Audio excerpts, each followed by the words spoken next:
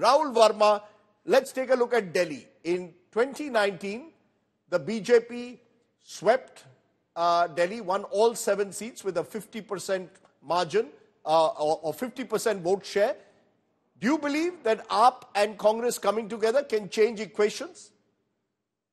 Uh, again, uh, uh, it's difficult. So in 2019, the BJP vote share in Delhi was 57%. Uh, the Congress vote share was 22% and Aam Aadmi Party vote share was 18%. In most seats, because that was a triangular contest, BJP won by a margin of 22 to 20, uh, 25 to 30% vote share. So these two parties coming together, assuming that the same vote share holds, BJP has a 17% lead. Mm-hmm. Now, where these two parties coming together, and if they manage to generate a momentum, a couple of seats might get uh, tough for BJP. So what we might see is a closer contest compared to past, but you cannot at this moment say that uh, uh, that AP and Congress have come together, they'll be able to sweep uh, Delhi. But Sanjay Kumar, at least it does change the perceptional index. The fact that two parties that were otherwise at war with each other coming together does give the impression that the India alliance can take shape. If Arvind Kejriwal and Congress can come together, then who knows? Yeah, Rajdeep, two things. Why an alliance of Aam Aadmi Party and Congress in Delhi is more important compared to what we saw uh, in UP. Because in UP, what has happened? this kind of an alliance was tested earlier also, and this alliance got defeated badly. Mm-hmm. So, in people's perception, is that even if this alliance is in place, they won't be able to defeat the BJP because such an alliance happened earlier also in 2017 assembly election, and we all know what happened to that alliance.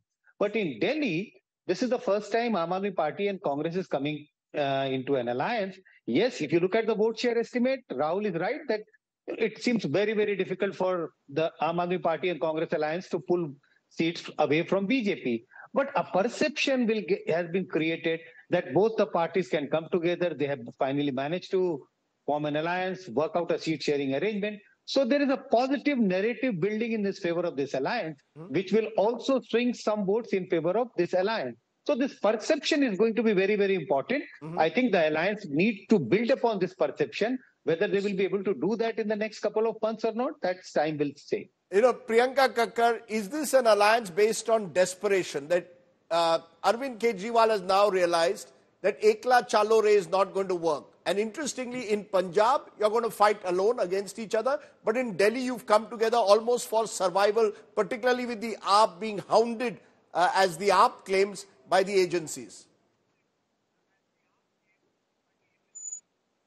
Good evening to everyone. Rajdeep ji. Rajdeepji. Rajdeepji, what desperation. We are three times winner in the Vidhan Sabha elections. We just ousted the BJP after 15 years of misrule in the MCD. We have been constantly gaining ground in Delhi. Uh, the, the figures quoted by the spokesperson previously before me well, there's a those you know in 2019 the household savings hadn't dropped to a 50%, which also goes against BJP now.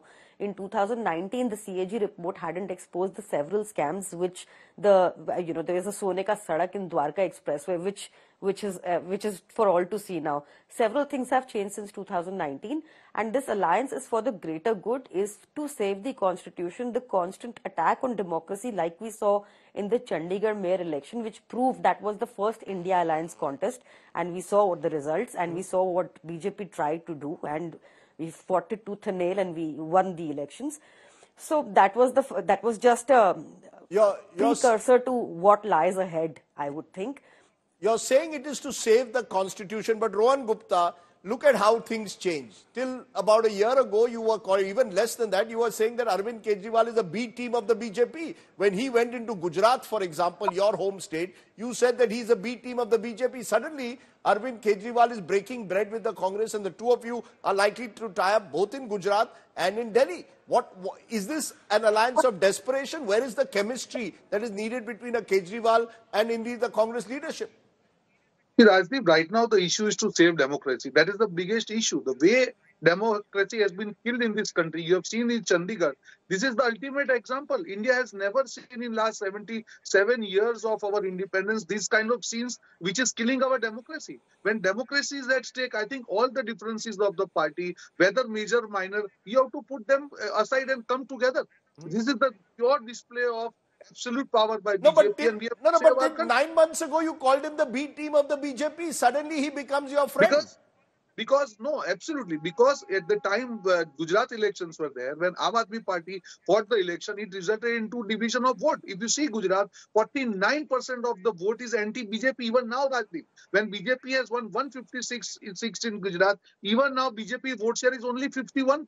So 49% of the share in Gujarat is anti-BJP. And when these two parties come together, obviously it is going to give uh, you know nightmares to BJP. Here, Rajdeep, again, I'm telling you, whether it is Chandigarh, where when Congress Party and Aam Aadmi they came together, they won Chandigarh uh, mayor elections, and this is the example of how if the opposition votes unite, whether it's SP Congress in UP or Aam Aadmi Party and uh, Congress Party in uh, Delhi and other states, or maybe West Bengal or other states, I think that will give a strong reply to BJP number Right. one and strong alternative to people. I'll tell you, Rajdeep, what BJP has done. It is trying to convince people by this 400 plus narrative that there is no opposition to BJP and anybody who is talking against BJP or voting against BJP, the vote has been wasted and there is no meaning of voting.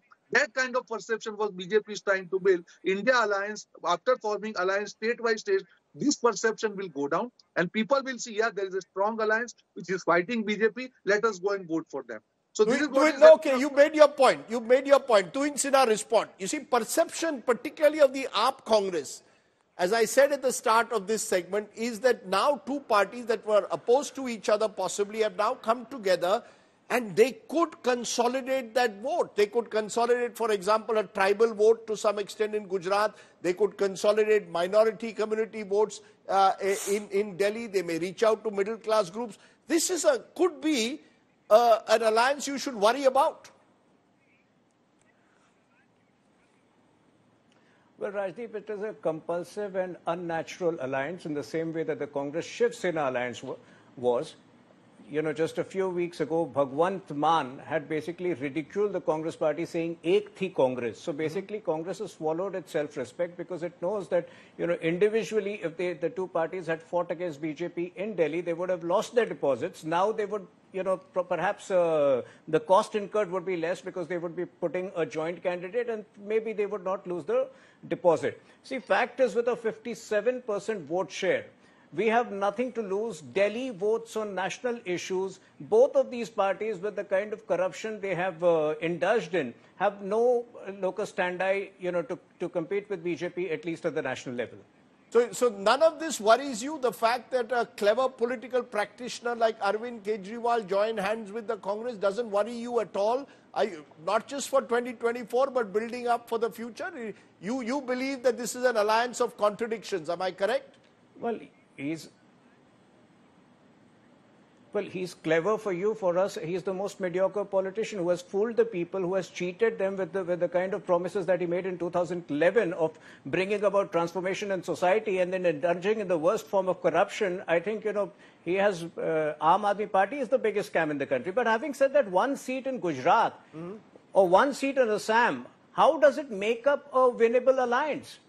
You know, you you have been a seasoned journalist. How does one seat in Gujarat lead to consolidation of votes? I Okay. mean, that is something. They any which way. If you if you look at the assembly election results, both of them, It's about- both Congress and Aam Aadmi Party were mauled. They were decimated. Okay. You know, uh, Priyanka Kakkar, there is a point in what Tuhin Sinha says two seats here, one seat here, let's even say the seven seats of Delhi. Uh, the fact is that it appears that you all are cr- clutching at straws here. You are hoping against hope that all your votes consolidate, the entire anti BJP vote consolidates, and that doesn't happen too often. Is this Aam Aadmi Party trying to retain its national uh, relevance? It's about relevance. You all want to stay relevant. That's why you've gone and tied up with the Congress, the very Congress that Mr. Kejriwal at one time would call corrupt. After winning Delhi thrice, uh, Punjab with the historical mandate, uh, you know, going into Gujarat, uh, Bhajpa ke gad mein sendh marna, coming 42, for, coming second on 42 seats in Gujarat. Um, we have a mayor in Madhya Pradesh. We have quite a large uh, Sangathan in several other states, including Assam, Haryana. I don't think that it reeks of any desperation. We are the fastest growing, fastest evolving party i should ask Tuhin why does mr modi need Be- besakhi you know the why is he he, looking for clutches everywhere. Imagine he needs to take the Sahara of O.P. Rajbhar ji, who called him a sand. He has to go beg, beg to Mr. O.P. Rajbhar. Why is that? Why, why such desperation on part of the NDA? Why such desperation on part of the NDA that the original naturally corrupt Mm-hmm. NCP is now a part of the NDA? Why such desperation? Okay.